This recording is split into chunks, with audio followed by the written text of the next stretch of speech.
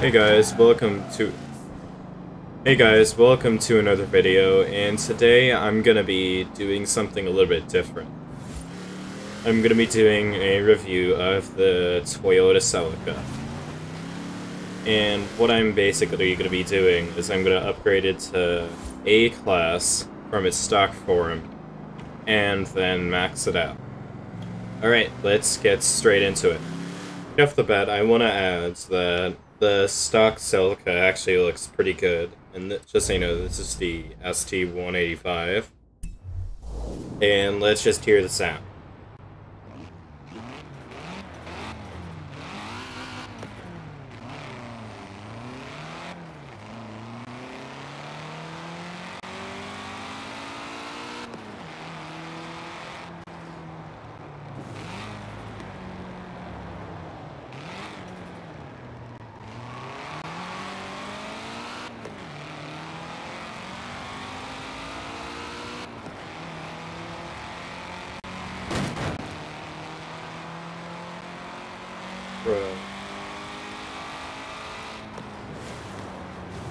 So overall, the car sounds pretty good, and it sounds better than the other Celica, which is basically just a copycat of another sound. Put in, get some audio with it. So I, did, I actually got the pure race. Next time I'll promise to do a reaction. So that's good. And I will see you guys later. Goodbye.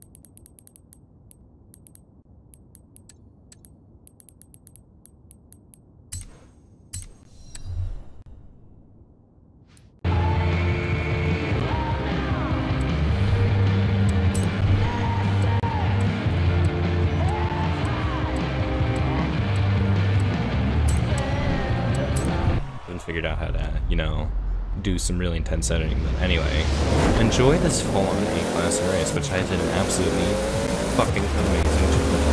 Okay, see you later.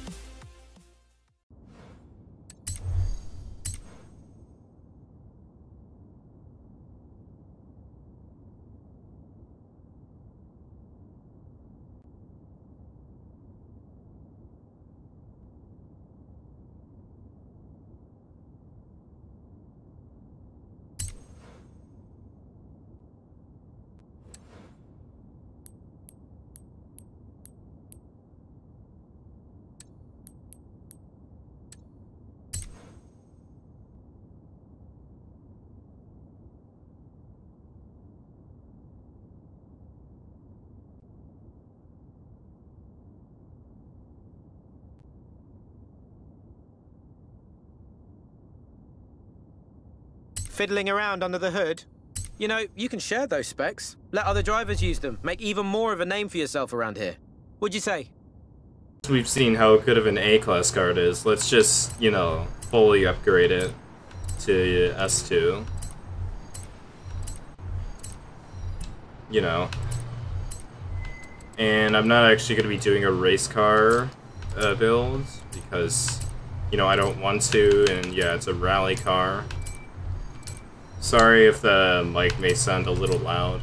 I'm just gonna put on the most insane, insane rally kit you've seen.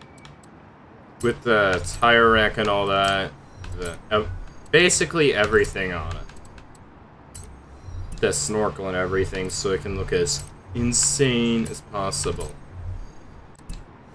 That you sure as hell don't want to swap this switch to rear-wheel drive.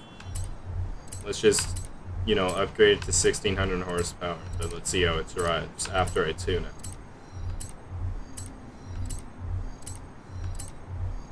Now, if you guys enjoy this video, can you please consider just sharing it with your friends? You, I'm okay if someone doesn't sub, but I, but I would like it if you did so, because it would be a bit of a help to my channel and helping it grow past 500 or maybe a thousand subs. It would be an absolute dream. Alright, now let's just... Now I'm gonna do some epic tuning.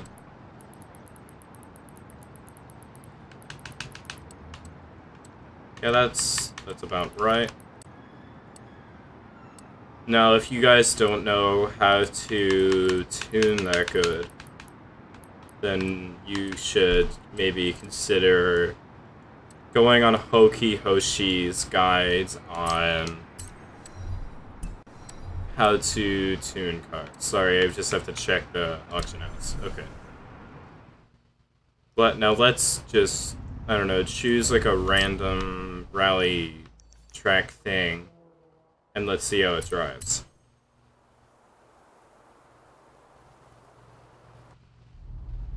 But straight off the bat, I can already tell you it's, it's gonna be insane.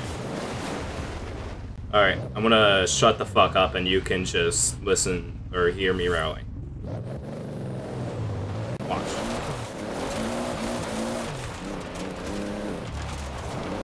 Now, right off the bat, I can tell you this car is really difficult to drive.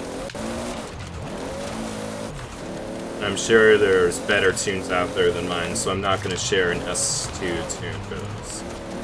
Because there's plenty of other better ones that other people have created. Oh, there you go, I spinned out. This thing just spins its wheels, that's all it wants to do. Really good from a drifter's perspective. Ah, I swear, every time I miss that influence sign. Backwards entry. Yeah, this thing's this thing is just screaming to be a drift car. So if you ever get the ST-185 and you want to put 1600 horsepower onto it, I think I'd totally recommend making it into a drift car. Alright, let's see how it races. Gone to is Lakehurst, and just so I'm not a faker, it was 75% bonus, and I'm just gonna quickly go over what settings I have. Alright, let's get started. I guarantee you I'm not gonna beat the unbeatable AI. Alright, let's do this.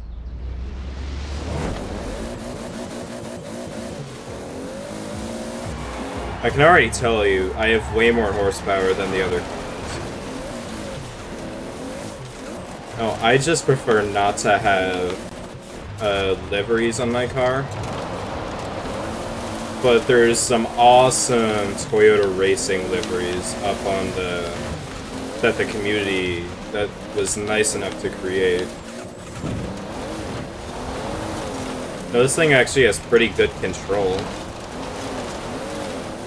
Like, I'm trying to do my best, and I it's kind of paying out. Yeah, I am overtaking them, but it's like, it just spins its wheels a lot, and that's what makes it difficult.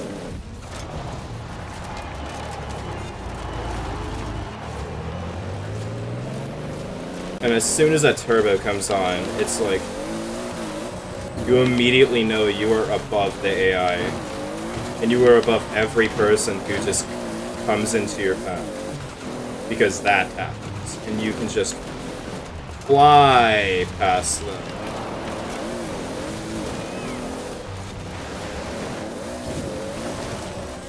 This is actually one of my favorite sections of any rally race.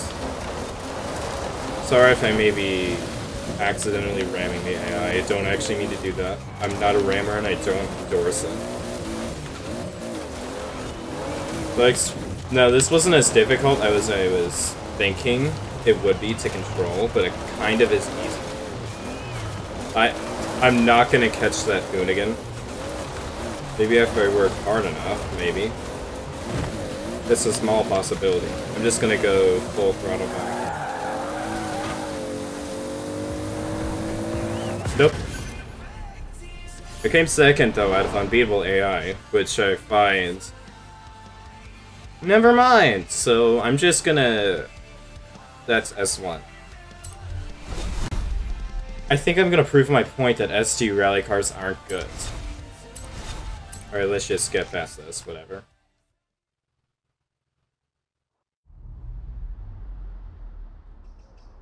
So what have we learned here? The Toyota Celica ST-185 is a good car. And unlike the previous Celica, it had it had it has the two-taste swap, which basically renders it totally better. And it's and it's one of the and it actually has a really rich and good racing history behind it. So, if you ever want to get the festival playlist, I'm going to make a video on how to do that, if you need it. Just do the three seasonal PR stunts, one seasonal event, and the monthly rivals, and just get Series 22. It's that easy. And if you want to go for the Jeep Wrangler, we're going to do that. Spring, I'm actually gonna I'm gonna cover the Nissan Pulsar or the Peugeot 205R.